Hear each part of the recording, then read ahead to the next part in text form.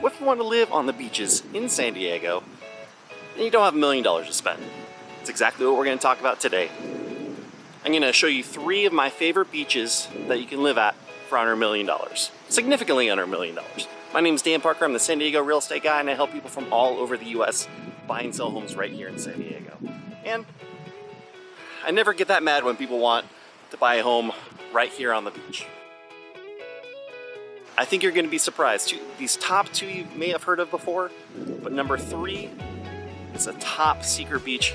I can guarantee you've never heard of it before. So starting out, we're at Pacific Beach. Now, a couple of things I really like about Pacific Beach is it's centrally located, it's easy to get in and out, and it's a pretty big area. Um, there's a lot to do here. A lot of people come here uh, when they have a night off to go to different bars, restaurants. There are a lot of different places to choose from. And I'm gonna be honest, out of all the places we're gonna visit today, if I were to actually purchase a property, it would probably be right here in Pacific Beach. All right, so let's talk cost here in Pacific Beach. The cheapest properties that you can find here are gonna be in the high 400,000s. That's gonna be for a condo. It's not gonna be right next to the beach. Beyond that, a townhome is gonna be about 700 and a detached property like in this cool little neighborhood I'm at right now, these little cottages, you're looking at high 800,000s. Now again, this is beach style living in San Diego, comes at a premium, but you can still find it at under a million dollars.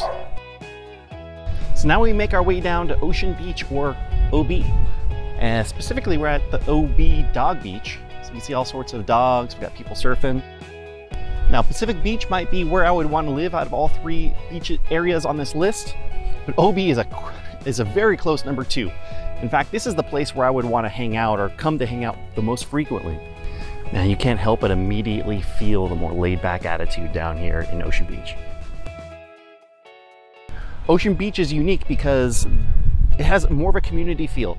So people that live in Ocean Beach, you're gonna see the OB logo on probably 50% of cars when you're driving around. Um, one of the downsides is it's kind of hard to get in and out. There's one main road that you go to get in and out. Um, but upside of that is people hang around and there's plenty to do here. Now the main street in OB is Newport. So there may not be as many restaurants and bars as in Pacific Beach, but the ones that they have are really cool, very laid back.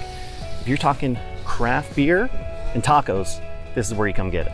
Now, some of my favorite places are in Ocean Beach, and I'm, what I'm gonna do is I'm gonna put down in the description below uh, a handful of my favorite places in both Pacific Beach and Ocean Beach. So if you come and visit, if you check these places out, you'll know some of the best restaurants to go to.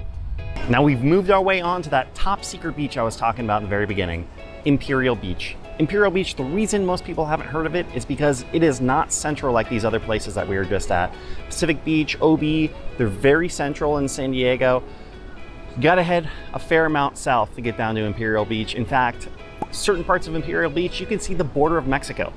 Now, the great upsides of this is you can get quality beach living at a significantly cheaper price. The value is there. Another upside is there's a ton of inventory. I looked this morning, there were over 125 properties available. Now these are starting at in the 400s and these are starting in the low 400s. You can get a condo in the low 400s and you can find detached single family properties in the $500,000 range. By the beach, walking distance of the beach, you can find a property for $500,000 in San Diego. I bet you didn't think that that was even possible when you started watching this video.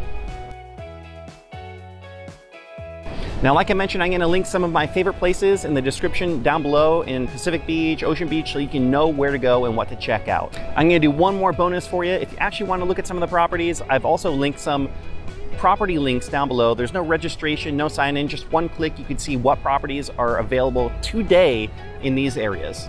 I hope you enjoy this video. Consider giving me a thumbs up and I hope to see you next time. If there's another place that you would like me to check out and do a video on, let me know. I'd be happy to make it. Thanks guys. We'll see you next time.